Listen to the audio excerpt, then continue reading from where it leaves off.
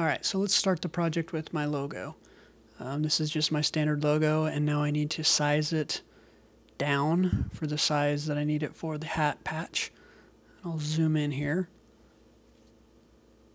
I always like to also kind of create a backup of the core logo on a different layer and I paste it in place so it's in the exact same spot and then I hide that layer just in case I need to go back. Makes it easier to uh, clean up messes. Now I'm going to select offset path. This will be the line that I will cut the leather out with uh, for the logo. So in this case, I'm going to go about a half a millimeter when it's all said and done.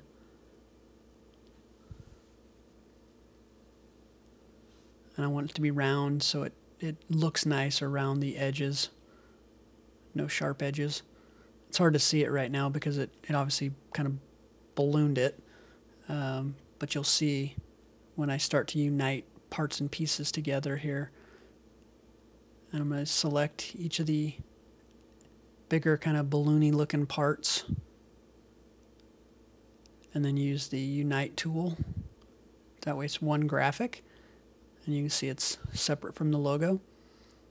And then I also want to make sure those those areas that I don't want to see through on the G and between the U and the N, I'm going to just put a, a circle and uh, on the to cover those two. And then I'm going to do the same thing. I'm going to unite those to the overall um, back part that's going to get cut out. And it can get kind of tricky here. I need to put the put the back in the very back and then select the circles to unite it. These are all just simple things you got to work through with Adobe Illustrator when you're doing this kind of thing. Now I'm going to change the color so you can kind of see what it's actually going to look like when it's all said and done.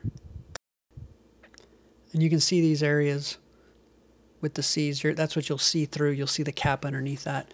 I'm just going to save save the file and then go over into Lightburn and um, get it imported over there.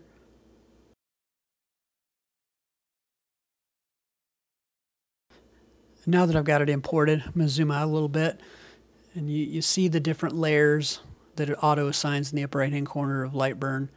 Um, I'm going to select them all, do the fill, just makes it easier to, to deal with this. And then I'm going to select the outline and make it a line.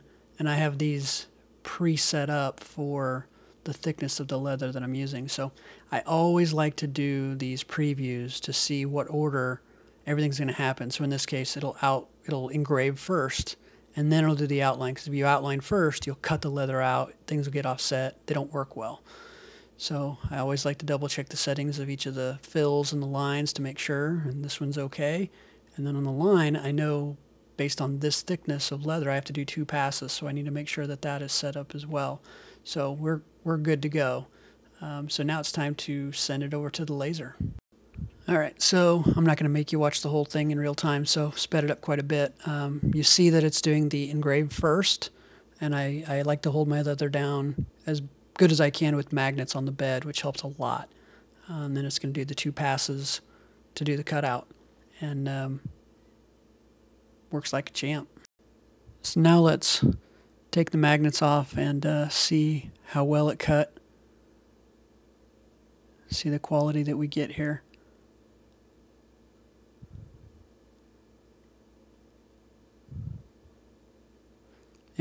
Cut it nice and clean.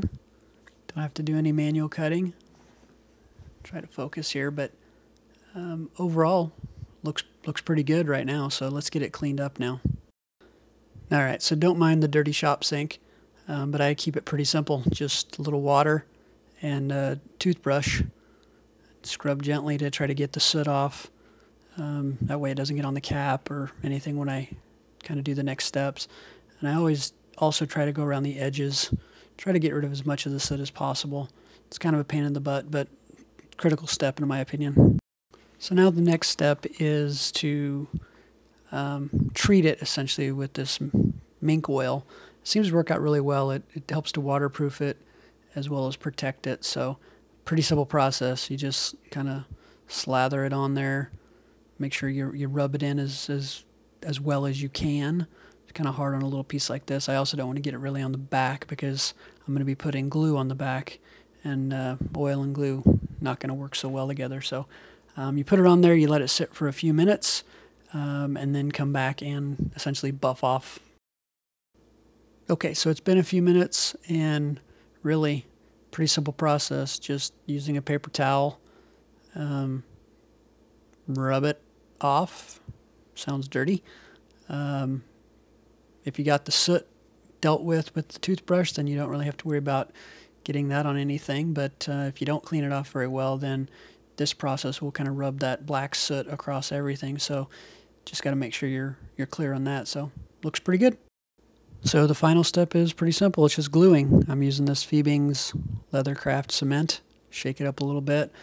Um, and because I, I want to be very careful with it, I'm, I'm just going to put a little on the paper towel and use a toothpick to coat the back of the leather because if you do get outside the lines essentially, um, even though it dries pretty clear, you still may see it on that gray part of the cap. So I, I take a little extra time and do my best to make sure that I, I just coat what needs to be coated and not let it kind of slather around the edges. But overall, it's a fairly simple process. So now it's time to put it on the hat. And like, just like any kind of project like this, you want to be as accurate as you can be. Um, with something like this, it's pretty simple. Just get it lined up with that edge as best you can. And uh, essentially press it down a little bit. Make sure it's all the glue is, is touching and it's thorough. And um, you could put a weight on it if you'd like. In this case, I don't think I'm going to need to worry about it. It's already stuck pretty good. So um, this is exactly the outcome that I was hoping for. And again, a fairly simple project, but thought I might uh, do a little how-to on using a laser engraver for hat patches. So thanks for watching. Oh, don't forget to like, comment, and subscribe. I'd really appreciate it. Thanks for watching.